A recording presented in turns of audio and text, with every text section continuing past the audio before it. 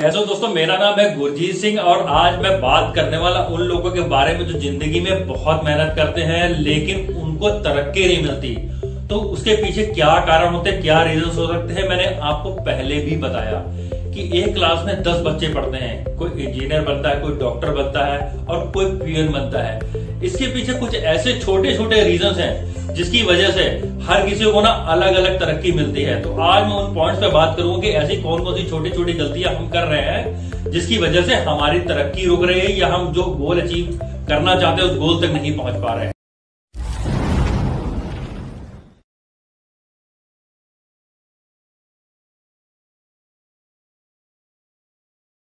तो अगर दोस्तों हम बात करते हैं पहले पॉइंट्स की तो पहला पॉइंट है हमारा सर्कल हम किस लोगों के साथ में रहते हैं? हमारी किस तरीके की कंपनी है? हमारे यार दोस्त कौन से हैं? पूरी दुनिया का एक रूल है कि आप जिस तरीके का आपका सर्कल होगा, उनकी फाइनेंशियल सिस्टम उनके गोल्स उनकी थिंकिंग उनकी सोच, उनकी एक्टिविटी हमेशा बिल्कुल सेम रहती है. इसलिए ये बहुत इंपॉर्टेंट है कि आप जो अपना सर्कल बना रहे हो, आप जो अपने फ्रेंड्स बना रहे हो वो बहुत चुनिंदा होने चाहिए और वो आपके बिल्कुल लाइक माइंडेड होने चाहिए और उनको ये पता होना चाहिए, उनका भी कोई गोल है, उनका कोई टारगेट है उनकी लाइफ में। मैं अगर आपको एग्जांपल देता हूँ कि अगर आप एक चुंबक को लेते हैं और 24 घंटे उसके साथ कील रखते हैं उस कील को अगर आप 24 घंटे के बाद हटाओगे तो वो कील भी उस चुंबक की तरह काम करने लगेगी। इसीलिए कहते हैं कि आप जिस तरीके का सर्कल रखते हैं, उस तरीके की सर्कल की एक्टिविटीज़ आपके अंदर भी आ जाती हैं। आप उसी तरीके से बोलने, सोचने और करने लगते हो। तो ये बहुत इंपॉर्टेंट है कि आपके पास जो सर्कल है, जिन लोगों के साथ बैठ रहे हो, जिनके साथ उड़ रहे हो, उन लोगों के साथ में आपको कितना सीखने को मिल रहा है? और सीखोगे वही जो वो लोग सोचते हैं और वो लोग करते हैं। इसलिए अपने सर्कल को हमेशा मेंटेन करके रखिएगा और अच्छी क्वालिटी का सर्कल रखिएगा जो आपकी तरह लाइक माइंडेड हो और कुछ गोल को अचीव करने चाहते हो। नेक्स्ट बात है, वो आपको ध्यान रखनी है don't waste time time is very important Shakespeare ने अपनी बुक में लिखा था, अगर मैं आज समय को बर्बाद कर रहा हूँ तो कल समय मुझे बर्बाद कर देगा। इसी तरह ऑस्ट्रेलिया को जब नेपोलियन ने हराया था तो उसका हारने का एक ही कारण था कि उसकी सेना पाँच मिनट लेट हो गई थी। और उसके बाद वही नेपोलियन बंदी बन गया था, क्योंकि उसके सेनापति को आने में लेट हो गया था। तो टाइम जो होता है ना, इतना इंपॉर्टेंट होता है कि आपको उसकी कीमत को जानना पड़ेगा। दुनिया के जितने भी महान लोग हैं उन्होंने एक काम बहुत इंपॉर्टेंट किया।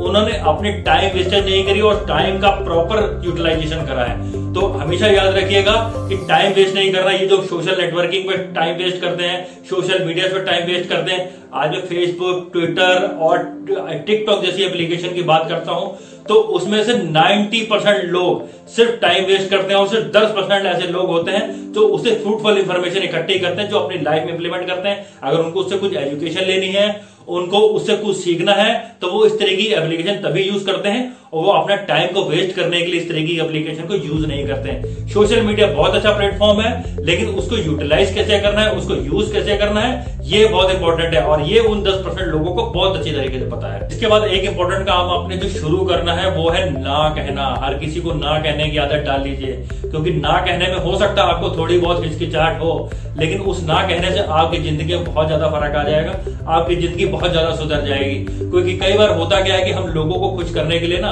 उनको खुश करने के लिए बहुत काम करना शुरू करते हैं, उनके लिए बहुत कुछ करते हैं। तो कई बार ऐसा भी होता है कि उनको खुश करने के लिए हमें झूठ भी बोलना पड़ता है। तो इसलिए सबको खुश करना बंद कर दीजिए और हर किसी को हाँ कहना बंद कर दीजिए। क्योंकि ना कहना आप इतना इंपॉर्टेंट है कि हो सकता है कि आप अपना कोई काम कर रहे हो, अपना कोई टारगेटेड काम कर रहे हो अपने गोल को अचीव करने के लिए कुछ कर रहे हो जो आपका समय बचाता है। तो इसलिए हमेशा कोशिश करिए कि जो काम बहुत इंपॉर्टेंट हो, उसी को करिए। ज़बरदस्ती आप किसी का कोई काम को मत करिए कि आपको उसको खुश करना है। इसके बाद जो पॉइंट आता है, वो होता है इंपॉर्टेंट थिंग्स एक्चुअली हमें पता ही नहीं होता कि हम दिन भर में करें क्या। दो चीज़ें होती हैं। एक होती है एक्टिविटी एक होती है प्रोडक्टिविटी अब एक्टिविटी और प्रोडक्टिविटी में फ़र्क ये होता है कि आपने बड़ा सारा काम करा एक्टिविटी बहुत कर रहे हो दिन भर में, इधर जा रहे हो, उधर जा रहे हो, लेकिन उसकी प्रोडक्टिविटी क्या निकल रही है? आपको उसका रिज़ल्ट क्या मिल रहा है? तो हमें पहली बात तो ये डिसाइड करना है कि हमने कौन सा प्रोडक्टिव काम करना है अपनी लाइफ को और अपने टारगेट को पाने के लिए। तो हमें क्या करना है? अपने कंसर्न एरिया बनाना है। जिसे कहते हैं इतना बड़ा गोला बनाएँगे। तो उस गोले के अंदर हम 25 चीज़ों को रखेंगे, जो इम्पोर्टेंट है हमारी लाइफ करने के लिए। उसके बाद हम क्या करेंगे? उन पच्चीस चीज़ों में से पाँच चीज़ों को चुनेंगे। बाकी बीस चीज़ों को उस गोले के बाहर निकाल देंगे। तो फिर वो हमारे पास इम्पोर्टेंट चीज़ें होंगी जो हमने करनी है अपनी लाइफ में। उस पाँच चीज़ों में भी एक छोटा सा गोला बनाएँगे। उस गोले के अंदर उन सिर्फ़ दो चीज़ों को लगेंगे या एक चीज़ को रखेंगे जो हमारा टारगेट है। और जब हम उस टारगेट के ऊपर काम करना शुरू करेंगे तो हमारे लिए अचीवमेंट की स्पीड बहुत तेज़ी से बढ़ जाएगी। क्योंकि होता क्या है, जो हम अपनी सारा फोकस अपनी पावर इन 25 चीज़ों में लगाते हैं तो जो हमारा मेन गोल और मेन फोकस हट जाता है। तो हमने सारी चीज़ें फोकस हटा के उस टारगेट पे फोकस करना है जिसपे हमने अपना काम करना है। तो आगे से हम पूरी कोशिश करेंगे कि हम एक सेट टारगेट के ऊपर काम करने की कोशिश करें। सबसे इंपॉर्टेंट पॉइंट है कि आपको एक्शन लेना है और एक्शन लेना बहुत इंपॉर्टेंट है, क्योंकि हम लाइफ में बोलते बहुत हैं, करते बहुत हैं, सोचते बहुत हैं, लेकिन एक्शन नहीं लेते। अगर हम बहुत कुछ सोचते हैं, लेकिन हम एक्शन नहीं लिए ना तो उसका कोई इंपॉर्टेंस नहीं है। इंपॉर्टेंस वो होता है जो एक्शन आप लेते हो, उसका जो रिज़ल्ट आता है वही सबसे इंपॉर्टेंट है रिज़ल्ट की वैल्यू दुनिया में सोच की वैल्यू नहीं है, आपके थॉट्स की वैल्यू नहीं है। थॉट्स आपके, जब तक आपका इंप्लीमेंट नहीं हुआ, तब तक उसकी वैल्यू नहीं है। हमारे पुराणों में भी लिखा है, काल करे सो, आज कर, आज करे सो, अब। ये जो टालम टोली वाली फॉर्मूला है ना, उसको हमें चेंज करना पड़ेगा कि आज मेरा मन नहीं है। क्योंकि बहुत दिनों से चल रहा है कि पुराण भी इस बात को कहते हैं कि हमारा जो मन है ना, उसको हमें काबू में रहना है। मन कभी नहीं रहता कहता कि आप अपने किसी काम को करो, लेकिन आपको उसको मन को मार के उस काम को करना पड़ेगा। ठीक है दोस्तों, हमेशा ये कोशिश करिए कि जो काम करना है ना उसे शुरू करें। भले थोड़ा ही शुरू करें, क्योंकि थोड़ा थोड़ा करके वो आपका इंक्रीज होता रहेगा और आपने रिज़ल्ट आपको मिलेगा।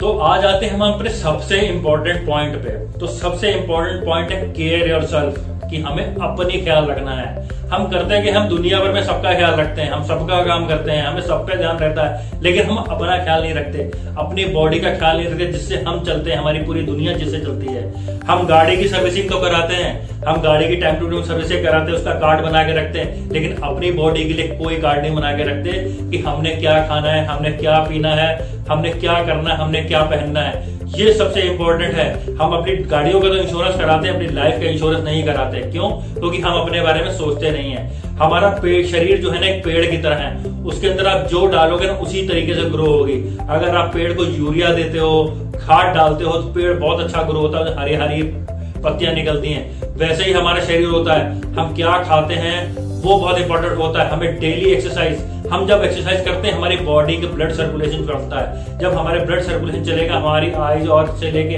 बॉडी का हर पार्ट बिल्कुल एक्टिव रहेगा।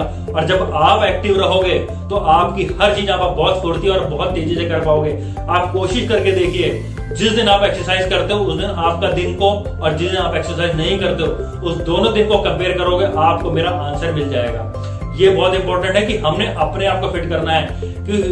क्योंकि अपने आप को प्यार करना सबसे दुनिया में इंपॉर्टेंट काम है। जिस दिन आप अपने आप को प्यार करने लगोगे, उस दिन दुनिया आपसे प्यार करनी होगी क्योंकि आपकी ऐसी पर्सनैलिटी निकल के आएगी कि दुनिया आपको सल्यूट करेगी। तो दोस्तों, ये थे कुछ ऐसे पॉइंट जिसको आप अपनी लाइफ में इंप्लीमेंट करके बहुत सारे चेंजेस ला सकते हो और अपने गोल को अचीव कर सकते हो। तो दोस्तों, कैसा लगा आपको मेरा वीडियो मिलते हैं आपको नेक्स्ट वीडियो में। सब्सक्राइब शेयर और लाइक करना मत भूलिएगा और बेल आइकन ज़रूर दबा दीजिएगा, क्योंकि मेरे आने वाली वीडियो नोटिफिकेशन आपके पास आ जाए